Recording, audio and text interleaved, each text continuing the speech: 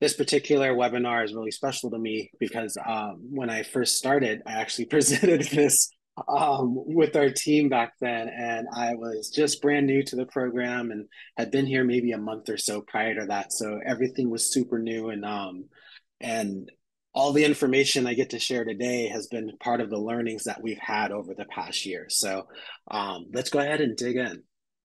And um, just to set some ground rules, my desire is to be able to answer all questions that might come up during this time. So as your questions come up, feel free to either A, put them into the chat, or B, hold on to them because we'll definitely leave time at the end to be able to go over all of those. So without any further ado, let's go over our agenda for the day. Um, we're going to start off just with a brief kind of explanation for those of you who uh, maybe haven't heard of In the Black yet about our mission, um, and then a brief history about what transpired in our, um, our beautiful neighborhood in the Fillmore um, that kind of gave birth to this idea and the necessity for it. From there, we're going to look at the impact that we've had, um, both with our internal, um, so in terms of our program, but also um, covering the external in terms of the community outreach and impact, and then lastly, our vendors as well. We'll go over a few learnings that we've had. everything has been really incredible as we've witnessed kind of like the birth of a new store, but we've learned a lot along the way. So we want to make sure that we're making time for both of those conversations. And then lastly, we'll just talk about a couple of things you can do to support us going forward and then leave some time for Q&A. And again, my name is Joshua. I'll be the host for this. All right. Um, to get us started, I want to tell you just a little bit about In the Black. In the Black is a creative and entrepreneurial marketplace providing Black owned businesses with access to affordable retail space in the historic Fillmore district. And a former cash or check cashing outlet at the bustling corner of Fillmore and Geary, In the Black is carving out a new path focused on Black community empowerment, wealth building, and prosperity. Black entrepreneurs can engage with In the Black by subleasing space on a long term basis via pop ups, event activations, and then also selling via our e-commerce website. The little symbol you see there on the side and our mission is hanging in our store. It's been imprinted on a wall since we began. And what I love to tell people when they come in and they're like, well, what is the store all about? It's like, we're all about creating opportunities for Black owned businesses to experiment in a retail space, which is something that is, as we've learned, very not only cost prohibitive, but almost impossible given the current retail landscape within the city. So what we were able to do through this program is create those opportunities with our original 18 businesses, now up to 22, soon to be 23 as soon as I get off this call today, actually. Um, but we're really excited to kind of share um, more of their stories as we go on. Before we can do anything else, though, we do have to look at um, what gave birth to this program and what was the um, unfortunate circumstances that you know our country and state sometimes found itself in, and that's a part of our history. So, the history of the Fillmore started in the 1940s, where Black residents migrated to San Francisco facing redlining in the Fillmore. World War II led to African Americans being for, left to steward the homes left by Japanese Americans. And we know so much of the story and the tension that has transpired there the wartime maritime industry attracted thousands of Blacks, my grandfather included in that, fostering Black owned businesses in the Fillmore. Then into the 50s, urban renewal displaced Black families, resulting in the historic Western Addition Community Organization lawsuit. Ultimately, what ended up happening is as the Black community tried to get up onto its feet using what was left for them, um, the city didn't particularly care for that, or the powers that be may not have. So this led to this lawsuit, which ultimately brought about the 1975 Federal Uniform Relocation Act. But many couldn't return, even despite that, due to the process of gentrification. The Fillmore lost businesses and households during this period. Those numbers, the last we looked, was up to 833 businesses and 4,729 households due to redevelopment. Facing imminent displacement, Black residents formed the Western Addition Community Organization to say securing their community renewal through a groundbreaking lawsuit that we mentioned earlier. Ultimately, as a pro, out of the birth of all of this, the birth of people experiencing kind of that um, the pushback that you can experience through government process, we realized that in the black has to emerge from that to start the process of reclaiming our neighborhood reclaiming the space and fostering collaboration with existing and new black owned businesses. The way this has transpired is you know again back in december of last year we opened our doors for the first time bringing 18 black owned businesses back into the fillmore neighborhood. Um, one of the incredible numbers from that was that 78% of the businesses that were in our store were either current or displaced members of the Fillmore community. So suddenly we went from having, you know, a serious deficit to 18 businesses getting called their home. They're also the place where they do business at. As we look at our vendors, as I mentioned earlier, we've had over 22, soon to be 23 businesses who have vended at In the Black. And through the process of the events that we've done, um, in store and externally, we've been able to create opportunities for an additional eight businesses to either um, educate people about their product, sell their product in the store at particular events, or get access to new events because of their um, involvement with us. We've generated over $150,000 back into the Black community in the Fillmore. And I think that number is something that I like to take a pause on because when we think about the way that retail works and how often people are ending up spending so much of what they make just to put back into their business or put back into just the rent to keep the door open. Um, the way our program has always been designed is that that money is going straight back into the pockets of our businesses. Um, and we're not cutting anything off of that for them. So when we say $150,000 was generated in store, and then $40,000 in addition were generated due to market um, opportunities, some of the events that I'll mention in a second, we're talking about almost $200,000 that has gone back into the hands of rebuilding the Fillmore corridor and creating opportunities and creating the visibility of opportunities for our neighborhood as well. One of the great things that happens because we're on this corner of Fillmore and Geary, you know, our um, I love to bring it up when people come in or when we have a new hire. Around four o'clock, depending on what day of the week it is, you're going to hear a thump thump, thump. And the reason for that is because right above us is the legendary Fillmore Auditorium.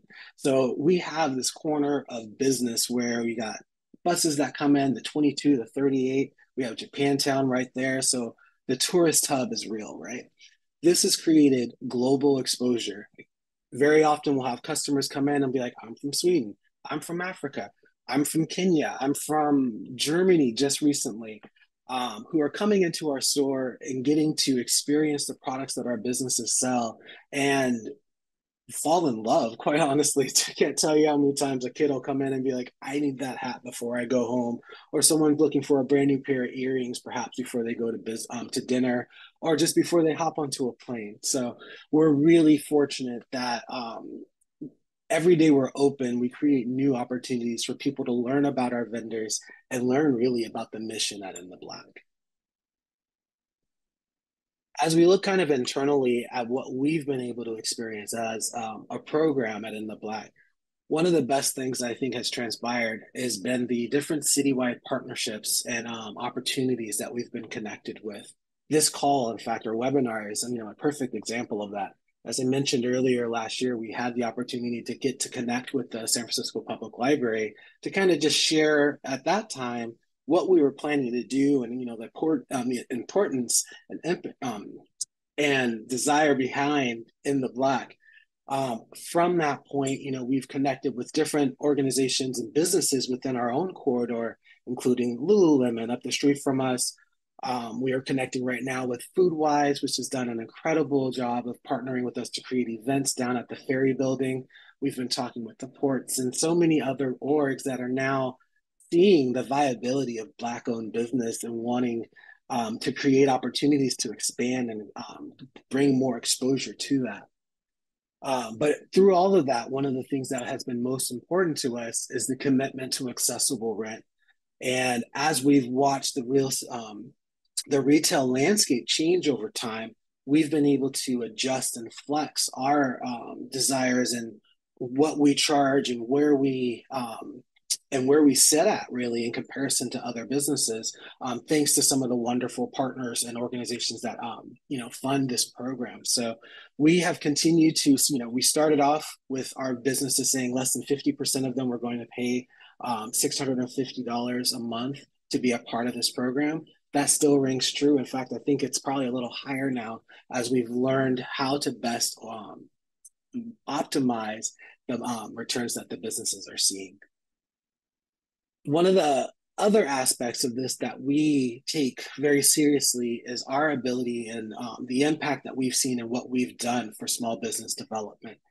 Um, as I mentioned, we have 22 businesses that have come through the store, and each one of those businesses we've been able to give hands-on um, training to. In some cases, whether it's been just telling them, you know, here's how you scale your business, here's how you think about um, expanding your product line, or this is what your product is doing in store. Here's you know direct feedback from your customer base.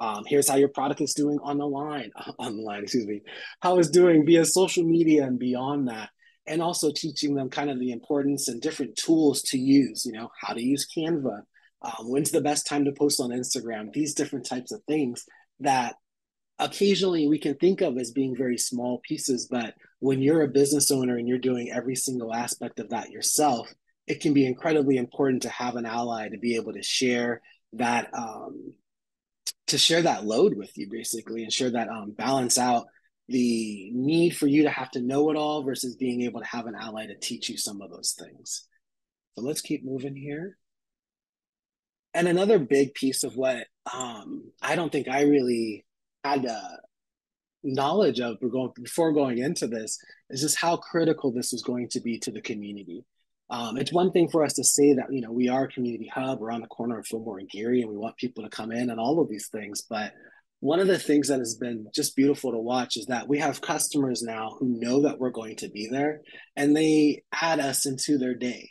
Uh, we have a lovely lady who comes in at least once every month, sometimes you know once every pay period, um, and she comes in, grabs a soda, sits down, catches up with us, and just takes a load off of her shoulders. And I think one of the aspects of us getting to be um, a hub for Black owned businesses and for um, the Black community to know and um, know that they can walk into and kind of not have to put on that same mask, perhaps, that we um, find ourselves wearing in some different spaces. Um, we become a place for people to not only gather, but also to rest. So sometimes they'll come in, they don't have anything they need to purchase on that trip, but they're just like, I just want you to know I'm still here and I still know you're there. And that's been wildly encouraging. So thank you to everyone that does that. Um, it means a lot to us. Um, we've also had a great opportunity to share a few of our um, event, or excuse me, share our event space with some external partners. Um, the picture that you see up here right now is we held a um, talk and partner with um, the SEGD, which is the Society of Experiential Graphic Designers. Um, I had never heard of that prior to this moment, but now I have a whole new appreciation for people who value just what goes into um, furniture or goes into architecture. And this became a way for us to not only use our space for something different, but also everyone that came into the store that day left with something. They were just so impressed with um, the different products that we carried that literally everyone had at least one or two items when they went home. And so this became just a new avenue we, that we learned from to be like, oh, we don't have to necessarily have each event be um, commercial based or be you know promotional in that regard. Just by inviting people in, we can create new revenue opportunities for our businesses the byproduct of all of this also and the byproduct really of being open is that it has encouraged so many people in our community to get involved be it um, other local business owners who are looking for an opportunity to sell their products or even businesses that are looking for the right way to get um, connected into really the black community.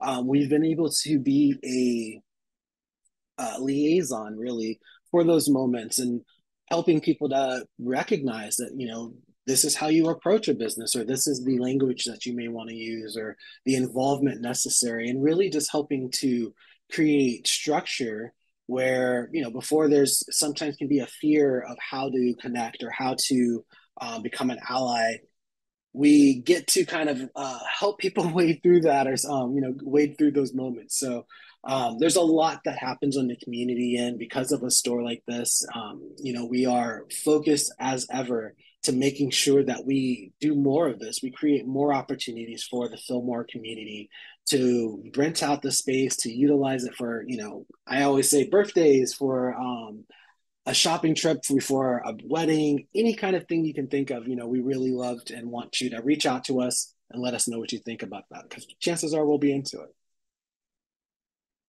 Before we jump into the learnings that we've had, I want to share two of our success stories. Um, as I mentioned, we've had a few businesses since the beginning of In the Black, but these two have really highlighted what it the what the opportunity has done for them as business owners. Um, starting with Belle Noir, Nicole has been um, one of the businesses that we enjoy sharing the success story of because she's been a part of it since the beginning. Um, when we very first opened the store, she recognized, you know, that moving her earrings to a different area in the store would potentially increase her sales. And so we partnered together because we have this space that we get to kind of be free form with and shifted things around to create more of a what you would expect from a retail experience. Um, this changed the experience, the whole process for her business. She doubled her sales, sometimes tripling her sales. Um, and as the kind of like the power that came out of that experience for her was then to start hosting bigger events in store um, and leading to some of the um, like her trunk show that we mentioned here being one of the highest selling days we experienced last year so the learning lesson from that for us was just you know a get the customer get our vendors into the store as often as possible so that they can really feel what their product looks like and what the um, how the customer is interacting with it and then listen so that we can make those changes with them. Um Siani from Sick Apparel on the other end she uh, if you've ever been by our store if you've ever seen a picture of our store she is the mastermind behind the black girl magic hoodie. And um, that hoodie has been incredible. It is a handmade hand embroidered product that just looks really top notch, really high quality, and um, the sales have shown. You know, people come in, they see it, they're like really impressed by it, and then they also get to realize like, oh, they actually have to change sometimes their expectations of what they might expect our store to sell, um, because sometimes, let's face it, you go into certain stores, you may not think that they're going to have a hand embroidered, top notch, you know, hoodie available. And so once you see that, it changes how you view everything else inside even as the season went on, we started to realize that we had a lot of tourists who were coming into the store or people who were looking specifically for um, something that could be a, um, a souvenir from their trip. We shared this information with Siani because she has such a close relationship with her production. Um, and within weeks, we got a new patch that said the city on it. And it's been one of our top selling patches ever since. So we really value kind of being able to have vendors who we can share these different um, insights with and watch their reaction because then we get to share that story, that success story with some of our other businesses so that they can see that you know change can happen for you at the drop of a dime even within the um, you know restraints of um, working within retail. All right it has been a romance story for us definitely since the day we've opened the door but um, we also work in retail so that doesn't come without its learnings and different opportunities and roadblocks along the way. Um, i think one of the biggest things we've experienced and can be summed up for us has been in just the staffing challenges that many businesses have been facing. Um, you know we are a unique platform in that we are retail and we're also a part of a nonprofit so we have um, a desire to go beyond just what you may normally experience within retail. And so we have, you know, everyone's wearing many hats, um, as we find in most businesses.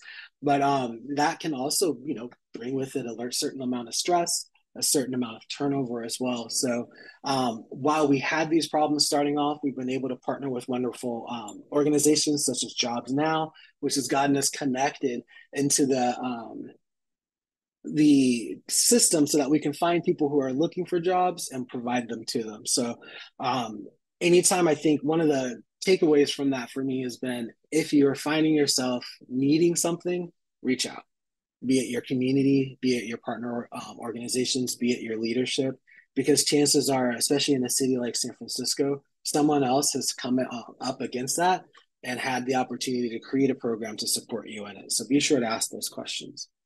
Um, another aspect that we've really had to learn to balance is um, the doom loop. And I even hate to bring it up. I wish I could just like bleep myself as I say it. But um, that conversation has really taken hold of, I think, of what a lot of people think of when they think of retail and they think of San Francisco and shopping. Um, we are removed from downtown being in the Fillmore corridor. And so we tried to remind people often that, you know, and even in how we thought about the events that we were going to throw in the store, we wanted to create a sense of vibrancy on our corner. We wanted to create a sense of community. And so even in the conversations we have with people who came into the store, um, because we became a safe space for the community to gather, a part of that is the conversation of like, you know, whatever that internal fear of like, well, I see all these businesses closing. Are you going to be next? And so on, and getting to kind of share with them just here's what's happening, you know, from the eyes of a store manager or from our sales associate, and the beauty of how much shopping is still transpiring in the city every day, um, and our Fillmore corridor being an example of that. Um, but then, even in that conversation, is the reality is that we are still reinvigorating and um, bringing new life into the Fillmore corridor. Um, even at the moment, as I say this, we actually can celebrate that, you know, the opening of new restaurants and the, um, you know, reestablishment of the Fillmore Heritage Center. These are all things that are coming that we can um, look at as being byproducts of what we were able to do. But the conversation that had to happen for the customer is that, hey, yeah, add us to the, you know, add us to your list. Like, as you're walking past the Goodwill, there's still another few stores in the lower Fillmore area. Um, and it's taken really this long, I would say up to a year now, um, for us to really be able to get people to continue that walk down, you know, especially during the day prior to dinner or anything like that. Um, or to come back around instead of trying to do it on a commute day, come back over the weekend or something like that. So um, there's always so many different things in that um, that we're continuing to experiment with. You know, we're starting to do direct mail so that we're reminding people just one other way, like, hey, we exist here, we're a store. But one of the best ways we can always recommend or um, encourage people to do is if you see something from us, if you get, you know, see us on Instagram, Facebook, if you receive something in the mail, share it with someone uh, share it with a neighbor, share someone um, with someone the story that we're sharing today. So um, a lot of learnings, and I'd love to share more of those as we go along. But um, as we look forward, always we're looking for ways to participate with the community and create additional opportunities for Black-owned businesses. Um, as we are looking forward to 2024, one of the things we're hoping and desiring to do is bring in larger businesses that can also become mentors for some of our smaller businesses to kind of complete that process of you know it's one thing for us to be like you can do this we can show you exactly how you know you're on the path but when you have a larger business or someone um, a mentor someone you can look up to who can share with you you know here are the steps that i may have ran into or here are some of the different um, issues i ran into that so you can avoid those um, I think that can be really impactful for your business. So we are starting to, you know, expand what type of businesses we're looking for, but we still want to offer and encourage people to look at our space as being a place to host an event, um, a place to, you know, if you have your own business to be a pop up at. Our pop ups are really incredible. We bring out, you know, we have our own music system. We have our resident DJ that we can tap if necessary, so that we can really create that um, environment that brings the people in to buy and then ultimately also we still want vendors in store or in, um, on our e-commerce our website is a great opportunity if you aren't necessarily ready to have your product customer facing every day but you know you have something that you're looking to sell or get the exposure globally um, our website is a wonderful tool for that so we invite any and all businesses that are either looking for that permanent um, brick and mortar experience with the web or just for e-commerce um, also, as we look towards this year, we're trying to find new ways to um, create exposure for our businesses. And so that looks like partnerships with your organization or your business to bring our craft market, which we successfully kicked off with FoodWise last year, um, to your business or to your organization, um, especially as we hear so many different um, conversations around DEI. We want to make sure that people still know that Black business is good and is strong in um, California and in San Francisco. So please reach out and we can definitely create some new opportunities um, within that realm. All right, I'm going to take a quick breath. we can't do anything without the organizations that really support us since the beginning. Um, we always give a huge shout out to the San Francisco Housing Development Corporation, the Dream Keepers Initiative, the Human Rights Commission, and the Office of Economic Workforce and Development. Um, we are who we are because of the um, support of these different partners. So we just give a huge thank you and shout out every time we can. Um, and then lastly, please come into the store. If you haven't been by, come by any day except for Tuesdays. We are there. Um, our website is up in theblackshop.com. And then, of course, you can find us on social media at in the Black Shop as well. Um, our fundraising goal actually has been updated. Forgive me, I didn't update that part of the slide. Um, but we still do have a goal there and we still are reaching, um, trying to reach that. So if you have the availability, if you have the ability to share, please do. And with that, I'm going to take one more breath and say thank you so much for um, joining and listening. I see we've got a bunch of comments. Can't wait to look at them. Um, but at this point, if there are any questions, I'd love to be able to answer those for you. And I'm going to bring up the comments while I. Okay. Thank you so much, Joshua. It looked like Leslie put some questions in the chat. Leslie, would you like to unmute or would you like me to read those out?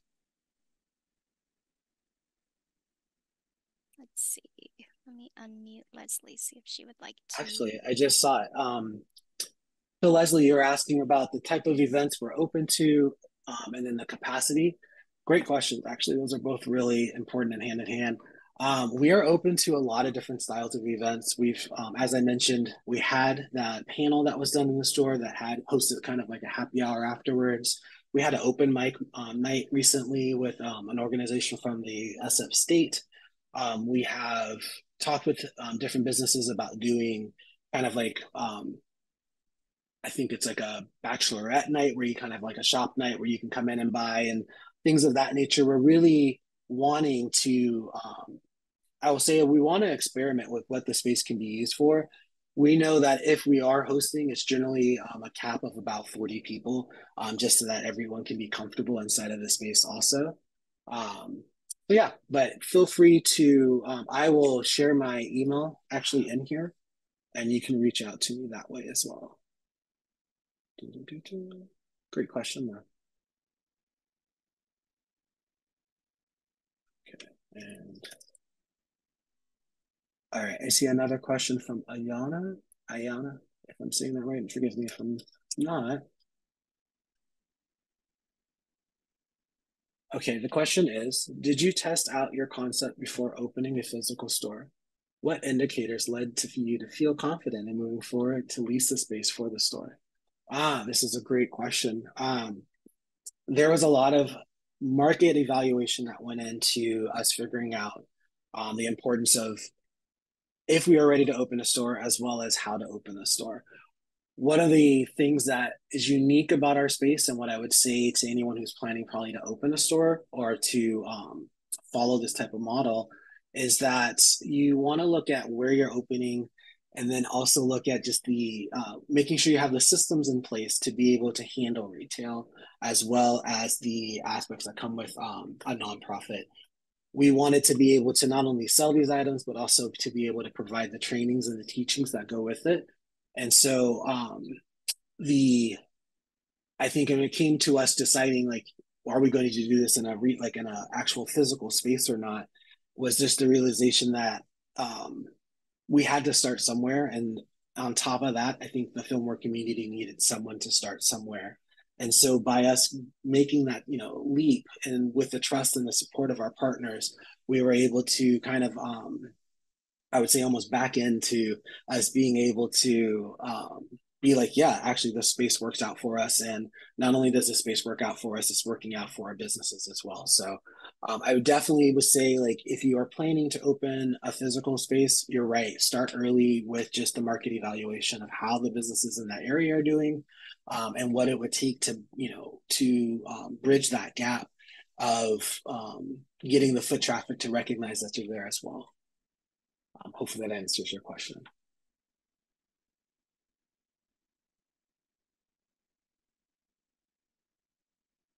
All right. Let's see. You're most welcome. Alrighty, I'm going to check in one last time to see if there are any other questions. Joshua, I have a question for you, if that's okay. Of course. Um, I'm curious of the soon to be 23 vendors that you have. Um, how many are from the original cohort? Um, let's see. We have added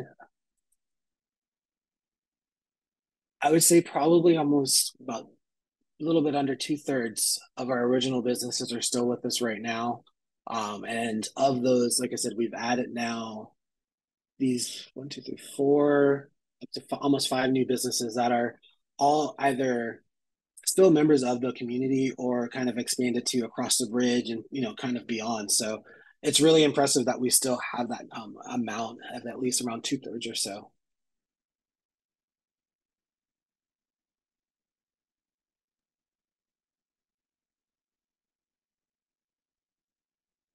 That's great. Thank you. There's lots of nice comments coming through in the chat. Yeah. Too. Um, uh, another question I would have is um, where do most of the sales come from? Um, in person sales at the store or e commerce, or is it pretty equal? Great question. Um, so far, a lot of our sales have come through our brick and mortar, um, through people coming into the store. And I think that's been another wonderful learning. Um, as I mentioned earlier, we have experienced, you know, the necessity to wear many hats as we go. And so the um, hardest hat for us all to wear at the same time is marketing, actually, and getting the kind of like digital experience um, gelled out. So the we, you know, you have a social media presence, you have your email presence, you have your e-commerce, and so um, as we have looked up from that we've benefited actually by anytime we get really busy on social media, it draws more foot traffic into the store. And I think people kind of look at um, social media or Instagram as being kind of what am I going to do today or what am I going to do this weekend? And so even now, as we've been connecting to different um, influencers and really tapping into some of these content creator markets, we're realizing that the power of that influencer is um, or that micro influencer really is getting them to turn back and um, get the foot traffic to come back into the store. So um, we are definitely looking to expand our um, digital presence and like our e-commerce presence in this new year but um, you know we also really value having um, bodies in the store and kind of just the warmth that that creates and the community aspect it feels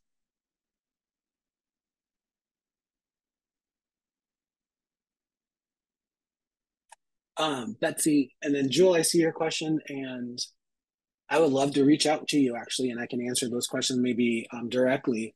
Um, Betsy, your question, let's see, do you all of the retail? Yes, so you can think of us, I love to describe it like a department store. You walking into like a mini Kohl's, or for those of us who are old enough to remember Mervyn's, um, you can go into the store and you literally can find something for everyone in the family. There's um, our skincare line, we have um, jewelry, and clothing, cards and so on and all of those take up a retail um, or a spot on a shelf or a um, or hanging every single day. And so that's kind of what our part of the process was we tried to go from being um, more of what felt like a curation or like the museum space where our sales associates were kind of just um, you know like uh, there to answer questions to more of the retail aspect where now as you come in you know we're shopping with you um, we have our fitting room and all of these different things. So uh, hopefully that answers your question. Great. Um, i see another question here in terms of um, our owners working with banks and financial wellness. Um, the beauty of our program is actually that we have a parent org and we have a parent team, in fact, that um, supports us with making sure that the trainings that we may not be able to provide immediately, um, our businesses still have access to. And so, one of the cohorts that we've actually, um, through our economic development team, that we are um, giving access to our businesses um, is for financial health and for you know tax season and all these different things. Because one of the parts that we have realized um, that is imperative is that you know even if um, someone has the the desire to open a business, um, that's just the first step, you know. And so you can get them to that point, and then the rest of that process is going to be that they are still going to be um, what I refer to as graduate school, right? You're in the store, which is you know creating opportunities for you to experiment with your business, but there are still follow up classes that are necessary. Um, as I mentioned earlier, scalability, marketing, um, branding, and also financial health. So um, we take that very seriously and we provide um, connections and contacts for our businesses to be able to get involved or at least get um, have that information available to them. But um, as we look towards this next year especially with our businesses starting the anniversary um, we want to make sure that we are creating new opportunities for them to get connected to different financial planners or financial institutions so that um, you know that can help to also remove some of the um, murkiness or just unsteadiness that comes with having to deal with you know the financial aspects of running a business. So if anyone in the call if you have a business or if you run a business that you think would be beneficial to our vendors please reach out and connect with us. Yeah no leslie you're totally right. And actually this is a great another learning for us. Um, the, the comment here is um, encouraging us to expand in range type and then the sizes and man, the greatest learning for all of our business owners is that you are going to be successful and people are going to see your product and they're going to desire to buy it. And so, as a part of that, is the acceptance that you know you need to um, purchase items for the client of tomorrow and not necessarily the client you know today. So um, as we go along, a part of the trainings and the um, different learnings that we provide our businesses is, hey, every day if someone comes in and they wanted to buy something and they couldn't we're like hey here's your tally you know? In a certain case if it starts to happen a bunch we share it with them like a tally to be like hey these are all of the opportunities to um, make that sell that um, we couldn't because we may not have had the right size or shirt or whatever. So um, we share that information with our businesses regularly I attend a lot of different events here in the city and beyond to find new businesses, especially when it comes to men's clothing. Um, I love to wear a good, you know, have a good shirt or have a good hat on myself. So um, please keep your eyes open. Please be sure to stop by because um, I'm hoping to change that here pretty soon.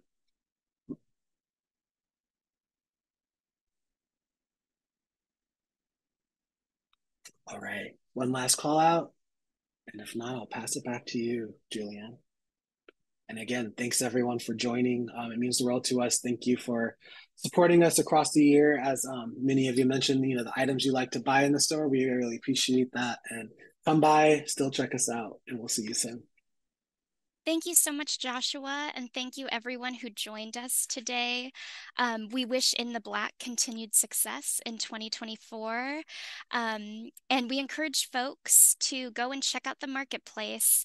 Um, not only do they have fabulous products, but they also are curating a really thoughtful community space, as we learned in this presentation. Um, so I would encourage you all to go and check them out in person.